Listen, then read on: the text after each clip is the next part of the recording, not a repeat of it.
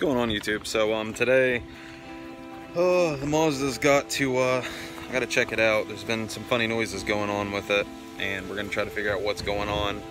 Um I thought it was the valve timing uh, or whatever, the timing chain. And uh, we pulled the valve cover off and checked it out and a guy that I know said that it doesn't look bad so we're guessing it's not that uh, the next thing to check out is the AC compressor, and the only way to do that is going to be pull the serpentine belt off. Got a Accessport now. My car is filthy, but um, yeah, I'm not running any tune right now. I got to make sure everything's okay. Get the high pressure fuel pump and a few other odds and ends. I'll be making some videos about that in the future, but um, yeah, got an Accessport now, so we're one step ahead of the game.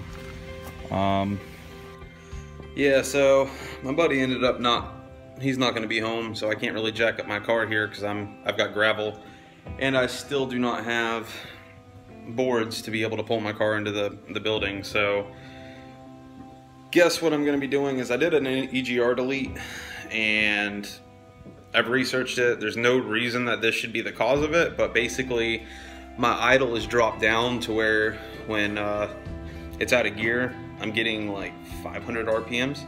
So that's definitely not right.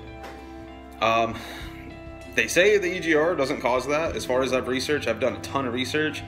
Um, I went straight blow off valve. I'm gonna go back to bypass valve or diverter or whatever you want to call it with the uh, HKS. So that's something I'm going to be doing today. And uh, yeah, I'm not gonna be pulling the serpentine, figure out what that noise is, unfortunately. So is what it is. So here in this lovely mess, oh, I've got a turbo inlet hose and a new intake on the way too, but so I don't know how well we can see down there. Part of the EGR tube is in there. The other piece screws on underneath this uh, intercooler piping right there. I'm hoping I don't have to pull the battery box this time. I might. Uh, I'm hoping I can just pull off the intake and be able to get to what I need to right there so that I can put that hose back on and then I will have to pull the intercooler back off. And I need a new one of these bad. So I've got the intercooler off now. exposes all your coil packs. And I gotta pull that off. And I might clean my throttle body while I do it. I don't know if I'm gonna need to remove that or not. So I may have gotten lucky because where I need to go is like right in there. But I did drop a bolt down here, so that's gonna be uh, the next target. You having fun?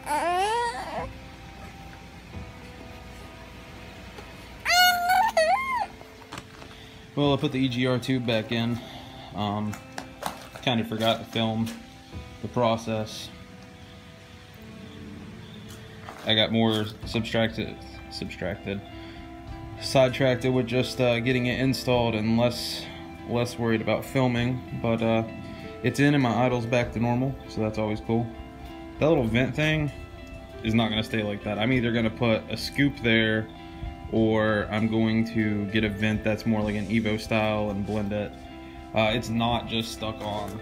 This is actually, well, you can't really see, but that actually goes through and it does release a lot of heat.